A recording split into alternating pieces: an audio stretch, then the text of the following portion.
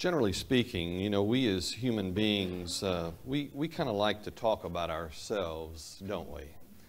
Uh, do you know somebody that likes to talk about them? Now, don't point at anybody here, but, um, you know, if, if you think about it, uh, you know, one of the reasons that I think that, that um, Facebook is, is so popular as a part of our social media is because it gives people an opportunity to talk about themselves, doesn't it? I mean, that's kind of the way that works. I mean, I know that Facebook does a lot of good things, and for us, that's kind of the way we keep up with our grandkids. We see pictures and watch them grow and all that kind of stuff because they don't live here locally. So I know that it does a lot of things, but you know, that is kind of one of the things that Facebook does. It, it, it allows people to communicate uh, about themselves with others. Uh, you know, we do that in other ways in our, our society. You know, a resume, everybody knows what a resume is, I think. Uh, you know, when you make out a resume, what are you trying to do in your resume? You're trying to communicate to a future employer who you are, right? And uh, so we, we try and put our best foot forward, uh, perhaps, uh, and uh, let them know what our skills are and our strengths are and that kind of thing. But, you know, having, having been on the other side of, of the resume situation, having received resumes, and trying to hire people, uh, you come to a realization that sometimes a person can look really good on paper, uh, but not so much in person. And, you know, the same can be true with regards to Facebook. I think all of us are aware of the fact that a person can very easily misrepresent themselves, and how they appear on Facebook and who they really are can be something very different. Amen or oh me?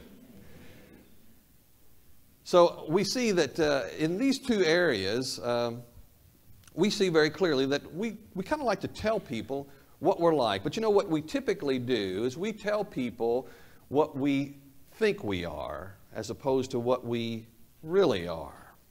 Uh, we're continuing here in the end of our year to uh, undergird the theme of bridging the gaps. And, and here at the very end of the year here, we're looking at the gap that can be present within the life of a believer as far as their relationship with Jesus Christ and how they understand the world. In other words, we're trying to help uh, uh, we're, we're, trying to allow the Bible to help us develop a Christian worldview. You see, I recognize that there are people who are very much in a relationship with Jesus Christ. They've surrendered their life to Christ, but they struggle with understanding the world from a Christian perspective.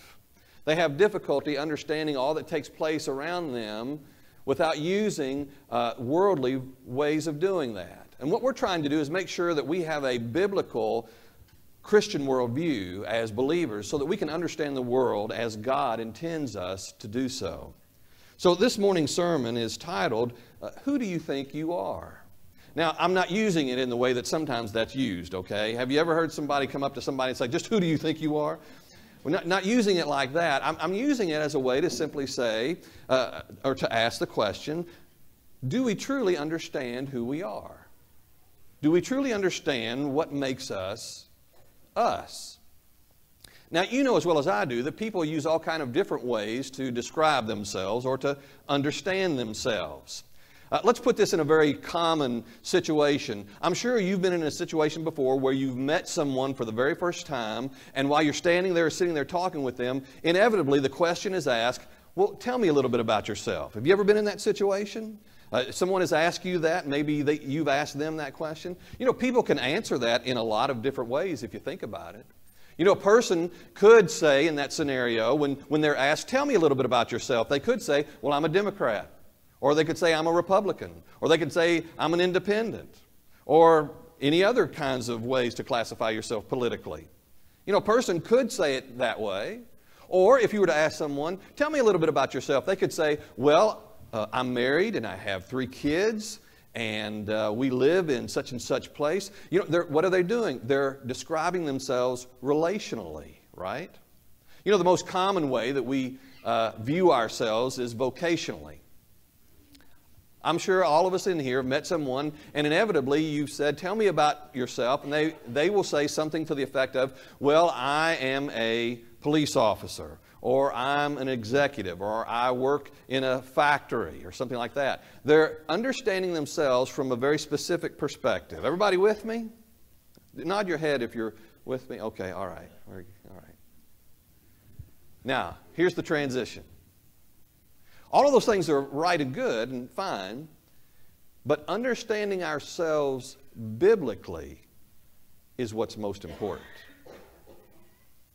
Uh, this leads us to say something that's going to really uh, guide us throughout the remainder of our time together. So we're going to put it up here on the board here so that you can look at that and think about it here for a few moments. You see, understanding ourselves biblically leads to the same conclusion for everyone we need a Savior. Listen, I'm not saying that all those other things are wrong or false. You know, you can understand yourself as a police officer, or you can understand yourself as a member of a family, or, or politically, or any other kind of way you want to identify yourself. But what we are saying is that understanding ourselves biblically is foundational to understanding who you truly are. So, if that's the truth, and I believe it is the truth, then we need to go to the Bible and see what the Bible has to say about us so that it can help us know who we think we are. And that'll kind of make your head spin a little bit. Uh, this is what I want us to, to do here. I hope you have your Bible. We're going to do a little traveling here, so get your Bibles out. Uh, we want to go to God's Word and see what it has to say about ourselves and who we are. And so let's start at the beginning, all right? Let's just go to the book of Genesis. Open your Bibles to Genesis. Go to the first chapter and go to verses 26 and 27. It's here in Genesis chapter 1, verses 26 and 27, we see this truth being given to us about ourselves. We are created in God's image. That's what these verses tell us. You've seen it before, but let's look at it together. Genesis, the first chapter, verses 26 and 27. Then God said, Let us make man in our image according to our likeness. They will rule the fish of the sea, the birds of the sky, the livestock, all the earth, and the creatures that crawl on the earth. So God created man in his own image. He created him in the image of God. He created them male and female. Now, you can't look at that without seeing that, first of all, there were some things that were repeated there. And one of the things that was repeated was humanity, mankind, was made in the image of God. It tells us that over and over again.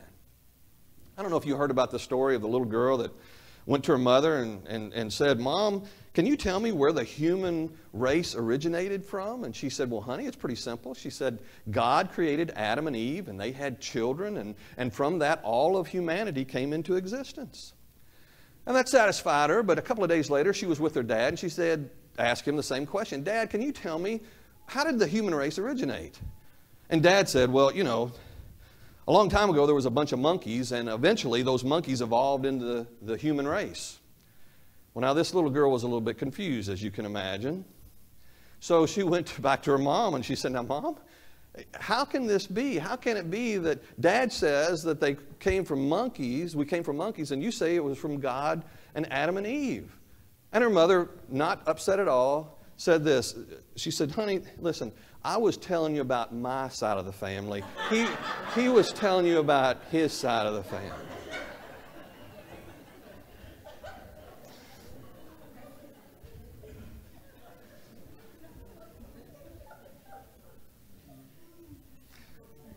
I won't ask which side of the family you're on. No, obviously, listen. The Bible makes it very clear. There was no evolution.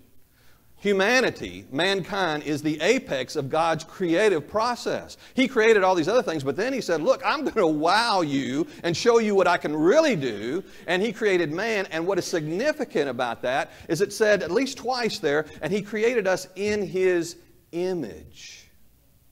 Now, what does that mean? Does that mean that we're all little gods like the New Age philosophy tells us? No.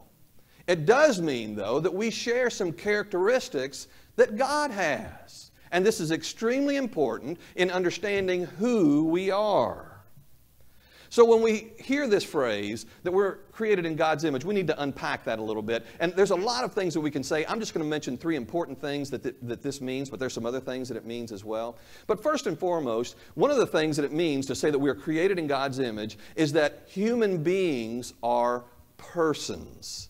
Now, I know some of you are saying, well, duh. I mean, I mean, doesn't that just the two go together? Well, it does, but if you'll just think about it for a moment, we're saying something very specific when we say that human beings are persons. In other words, none of us are robots. None of us are just a blob of cells or flesh. We are aware of our existence. We know we exist. And not only that, we share characteristics that make us distinctly individual people. You are a person. The person next to you is a person. These folks up here, these are persons. They have the awareness of their existence. They have distinct qualities that make them individuals. Now, why is that important? Because God is the same way. God is a very distinct person. He has very specific qualities and aspects of His existence. So do we. So, part of what we're saying here is simply this God is a person, and so are we. That's part of what it means to be made in His image. But something else we want to say here is that persons are a unity. In other words, you as a person, you are physical, but you are also mental, you are also emotional, and you are also spiritual. And what we're saying here is that this is a unity that cannot be separated. In other words, understanding who you are, you cannot simply understand yourself as a physical being. You also must ha- understand yourself as an emotional being and a mental being. And yes, even though what the atheist may say that this is not true, you are even a spiritual being. You have the potential to be that. Now, the importance of this is that, again, this is what we share with God. God is a person, and in Him there is completeness, there is unity. You cannot separate characteristics of God uh, and, and put them out there and say, this is God, but this characteristic of God is not God. God is a unity. When we say God is love, we mean that God is love all the time. When we understand that God is a compassionate God, when He is a gracious God, we can't separate that from also the fact in knowing that God is a God who is just. He is a complete person. And what that is saying to you and to me is that we can be a complete person as well. Finally, we would also say that being created in God's image means that we are created free. We can make decisions, whether they're good, bad, or indifferent. We have been created with the ability to make decisions. God is the same way. God has the ability to think and to make decisions. And we share that characteristic with Him. Now, let's take that a step for, further because this will help me uh, in what I'm about to say later. Not only can God make decisions, but God always makes right decisions. Amen? And that tells us that while we are not God, we have the potential to make right decisions too. So, what have we said so far? We've said we're created in God's image. And that means that in the very beginning, God had some great things in store for humanity. He wanted us to be a person, an individual, to be distinct in our existence and to be able to make good, rational decisions and to experience all that life that He had created had available for us. That sounds pretty good. But you know, the Bible doesn't stop there. The Bible says something else about us that we need to see, something very important. Now we're going to the New Testament. And so you'll need to go over to the book of Ephesians. Ephesians, the second chapter, verses 1 through 3, because it's here that we see a very important truth that the Bible gives us. And that is this we've allowed sin to corrupt his image.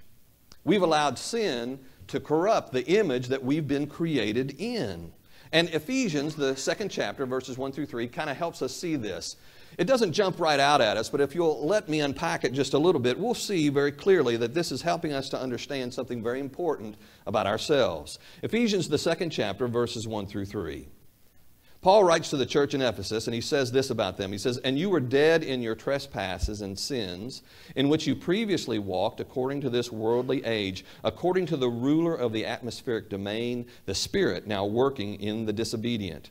We too all previously lived among them in our fleshly desires carrying out the inclinations of our flesh and thoughts, and by nature we were children under wrath as the others were also. Man, there's a lot in there, but if you'll let me just pull out a few things. One of the things that it's saying there in the first verse, it says, And you were dead in your trespasses and sins. What have we just learned? Hey, we were created in God's image. That, and if you think about that, that means life, and it means life abundant. But what has happened? Sin has worked its way into our lives, and it has created deadness, if you will. That's what sin does. And not only does Paul speak about them in that way, but look at verse 3. He says, We too all previously lived among them in our fleshly desires. Paul's saying it's not just you, church in Ephesus. He's saying all of us have come under that curse of sin. You see what he says after that carrying out the inclinations of our flesh and thoughts, and by nature, look at that phrase, by nature we were children under wrath as others were also.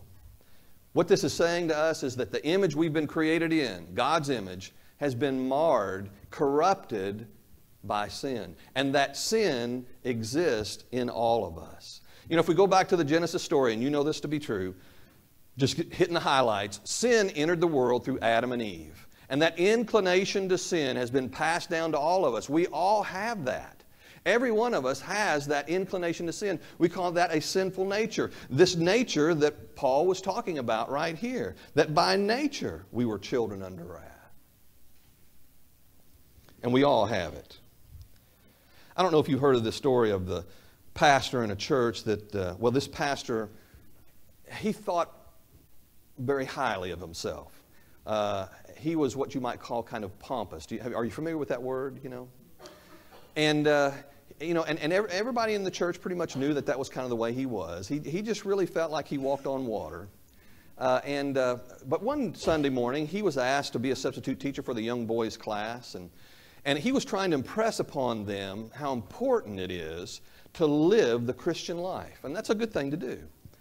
And so he started out by doing this. He, he got in front of the class and he, you know, he shot his sleeves and he adjusted his tie and he adjusted his glasses and he looked at them in this very uh, authoritative way. And he said with one of those voices that kind of just drips of, uh, of uh, self pride, Now, boys, why do you think that people call me a Christian? And there was a pause, and then a little fellow in the back said, Well, maybe they don't really know you.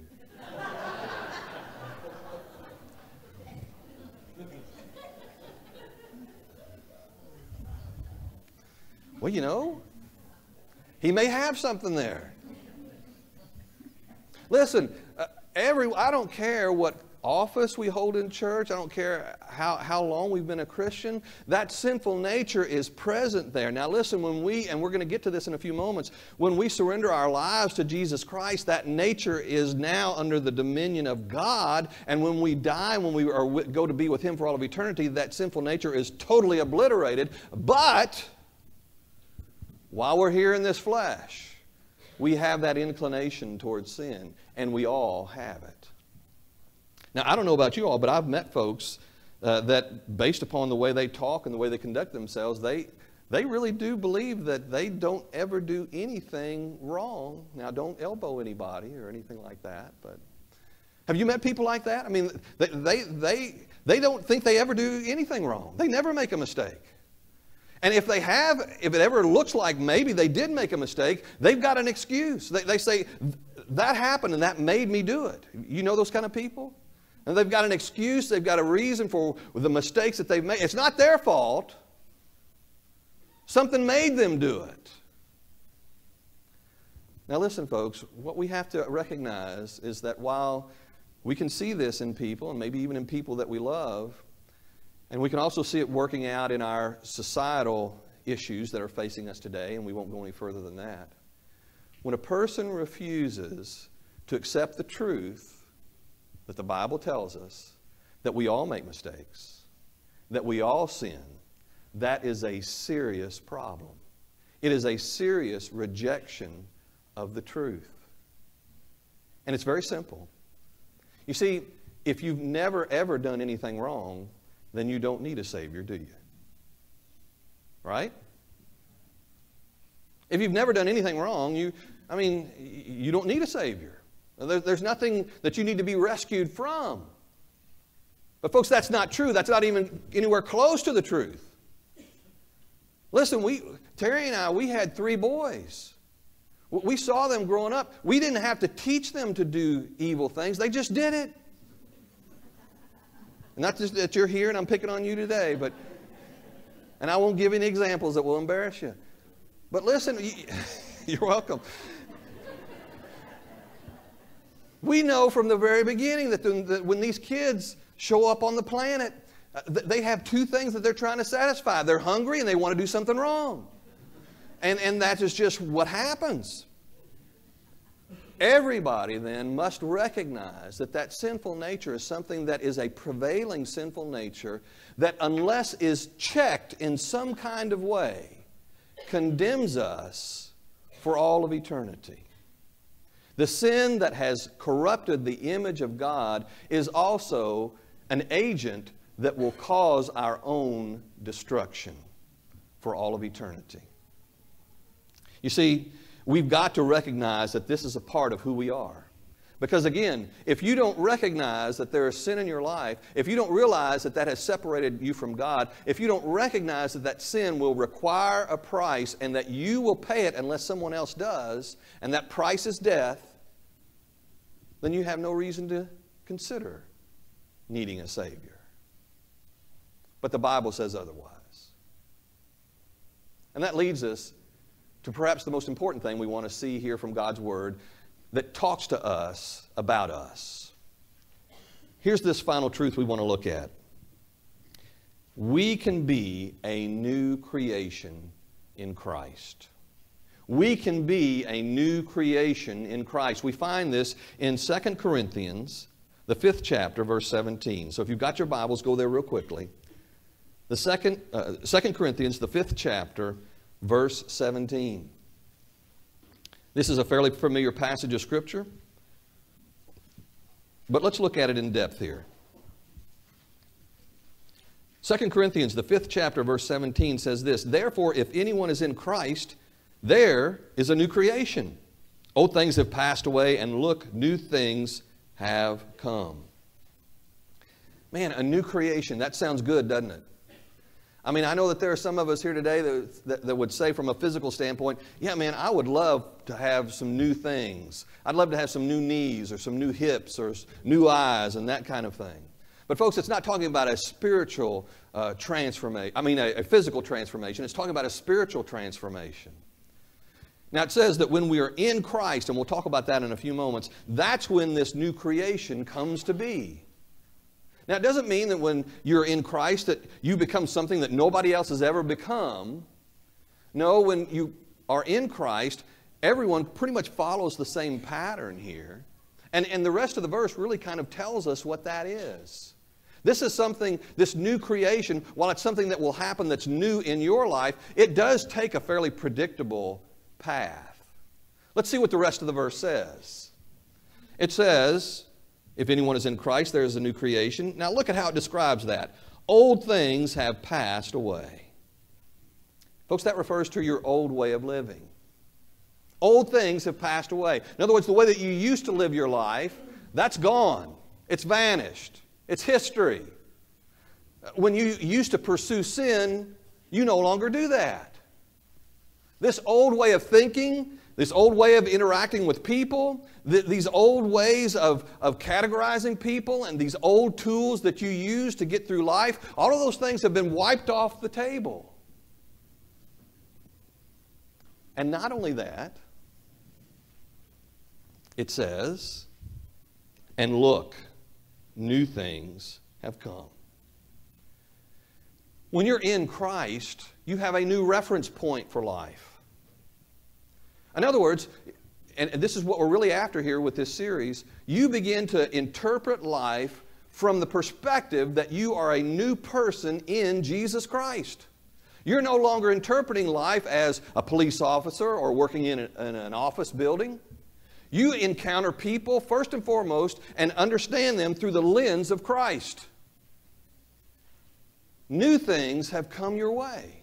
A new way of living, a new reference point. You no longer are pursuing sin, you're pursuing Christ and who He is to you, and what He's done for you, and how you can better serve Him.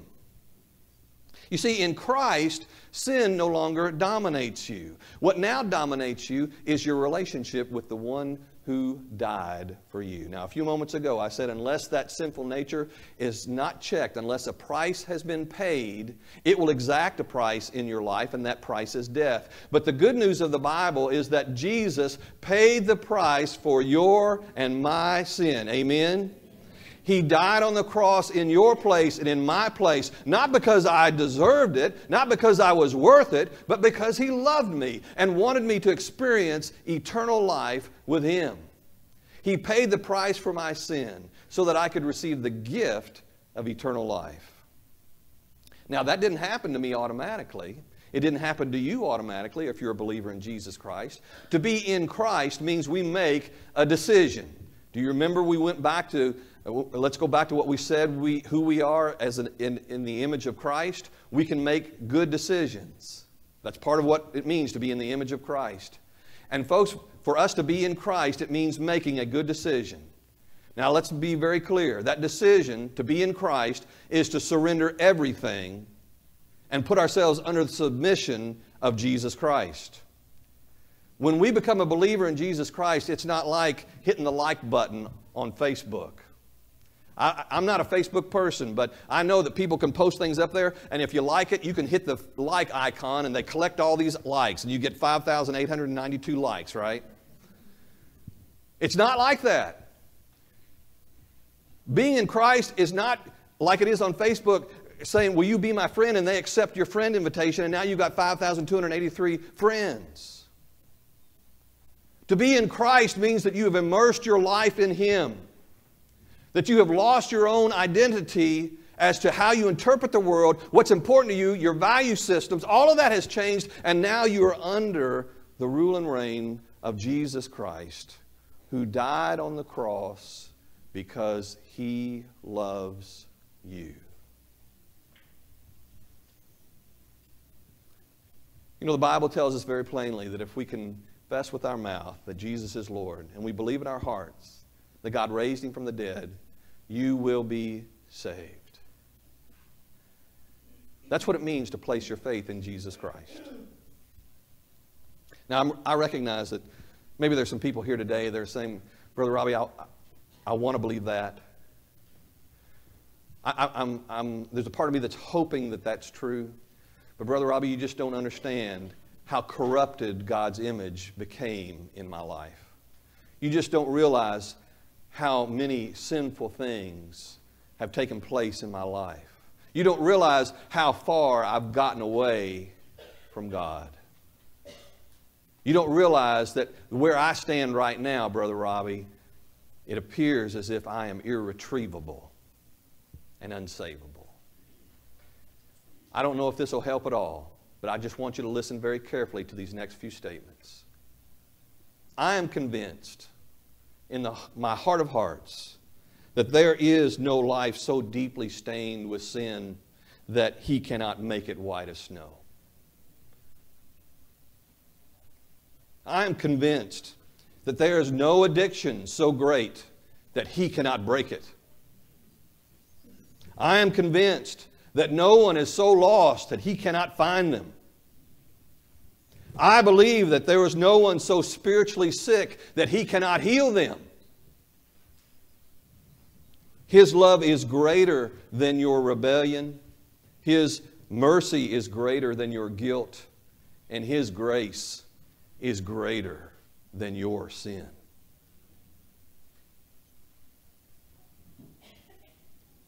So the good news is yes, we're created in His image. Sin has marred that image. But God made a way for us to be created new again if we'll simply place our faith in Him. You see, folks, at this point now, it all boils down to who you think you are. Maybe you've heard this story. There was a woman who showed up one, at one of the mega churches. You know what a mega church is. You know, it's, it's a huge complex. You know, this particular church, it, the sanctuary seated 20,000 people, you know. And, and, you know, they were geared up. They were ready. This church, they've, they've been doing this for a long time. So this woman, when she stepped onto the campus and when she went through that set of doors, there was an usher right there to, to greet her. And, and uh, he began to escort her to the sanctuary. And as they were going there, he said, Ma'am, where would you like to sit? She said, I'd like to sit on the front row. And the usher thought for a moment, he said, I think I'm going to have to tell her the truth. So he said to her, Ma'am, uh, I love our pastor, uh, but, but he's the most boring person I've ever heard. He is as dry as the Sahara Desert. You, you don't want to sit on the front row. She looked at him and said, Young man, do you know who I am? He said, No. She said, I am the pastor's wife.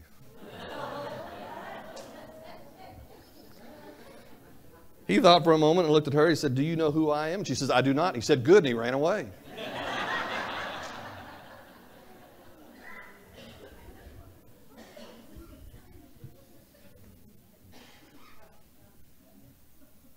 So I guess knowing who we really are is important. Now, I don't know who you think you are, and I'm not meaning that in a bad way, but God knows who you really are. And this is what He knows about each and every one of us that we all need a Savior.